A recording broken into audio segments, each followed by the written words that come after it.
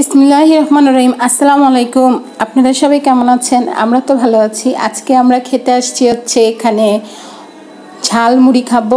সেটা হবে একটু অন্যরকম। এখানে যদি একটা ডিম দিয়ে নিয়ে খাওয়া হয়, একটা ডিম আর একটা আলু দিবে, আর হচ্ছে আপনি মুড়ি, শসা টসা সব মিলে দিবে, সেখানে তো ক্ষেত্রে আপনাকে চল্লিশ টাকা গুনতে হবে। আর যদি আপনি হাফ ডিম মানে অর্ধেক ডিম আর অর্ধেক আলু দিয়ে বানায়, বানিয়ে খেতে চান, তাহলে আপনাকে তিরিশ টাকা গুনতে হবে। আমি ভাবলাম যে চল্লিশ টাকা দিয়ে খাই, তাহলে তিরিশ টাকা দিয়ে খেয়ে কী লাভ? কম পড়ে যাবে, তার জন্য এখানে ধনিয়া পাতাটা কেটে নিচ্ছে।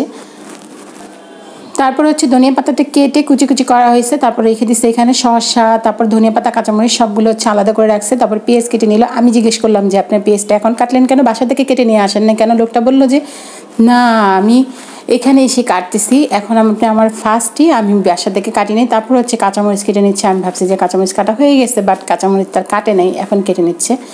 আর আমার ওইদিকে আমি যেহেতু ভিডিও করতেছি, আরেকটা মহিলা আসছে মানে ঝালমুড়ি খাবে সেই জন্য তাকে আগে দিবে, তারপর হচ্ছে আমাদেরকে দিবে।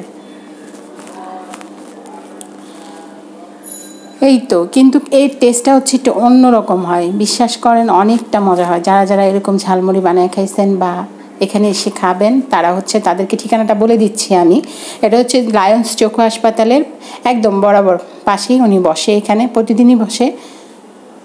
আপনারা চাইলে সন্ধ্যা পর্যন্ত মনে হয় রাত থাকে, রাত আটটা পর্যন্ত থাকে, আমি মেবি জানি না। তারপর হচ্ছে আপনারা, আমি এখানে বিকালবেলা যেয়ে খেয়ে আসছিলাম। এখন আপনারা আসলে এখানে খেতে পারেন। সকাল থেকে সকাল থেকে একদম বিকাল পর্যন্ত থাকে। আর এখানে আলু দিতেছে, তারপর হচ্ছে মহিলাটাকে বানিয়ে দেবো দেখে তার জন্য অর্ধেক আলু দিছে, সে মনে হয় তিরিশ টাকা নিচ্ছে সেই জন্য আলু অর্ধেক দেওয়া। তারপরে হচ্ছে ওনাকে বানিয়ে দেওয়ার পর হচ্ছে আমার পালা, এখন দেখি ওনাকে কতক্ষণ ধরে বানিয়ে দেয়। তারপর হচ্ছে আমি বলছি যে তাড়াতাড়ি করে আমাকে বানিয়ে দেন, আমাকে একদিন বাট ওনাকে দিল। আচ্ছা যাই হোক, আমি এখানে দাঁড়ায় আছি যে দেখি কি করে, আমাকে কতক্ষণে দেয় সেই জন্য আমি দাঁড়ায় আছি, দেখি কি করতেছে সে। তারপর হচ্ছে ওনাকে দেওয়ার পরে হয়তো আমাকে বানিয়ে দেবে, সেজন্য খুব তাড়াতাড়ি করে সব কাজ শেষ করে ফেলল। কিন্তু আরিয়ান আমার সাথে আসছে কিন্তু আরিয়ান ভিডিও করে নাই। আরিয়ান বসে দাঁড়িয়ে আছে এখানে।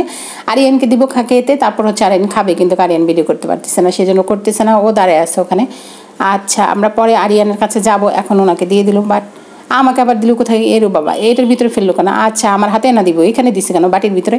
আচ্ছা না, বাটি না তো, এটা তো হচ্ছে গোসলখানার একটা মগ আছে ঠিক আছে, যাই হোক, মগটা মনে হয় পরিষ্কারই আছে, তারপর হচ্ছে এখন আরিয়ানকে দিবেন, আরিয়ান আপনাদেরকে খেয়ে বলবে, এটা টেস্টটা কেমন? ওকে, আমরা আরিয়ানের মুখে থেকে তো শুনতে পারলাম না, আমি ওর সাউন্ডটা অফ করে দিয়েছিলাম দেখেন আরিয়ানের কি মুখের ব্লার আইতেছে, মনে হইতেছে খুবই মজা হয়েছে বাট আমি খেতে পারতেছি না, আমি দেখতেছি যে ও কী করে, আমাকে সাদে কিনা।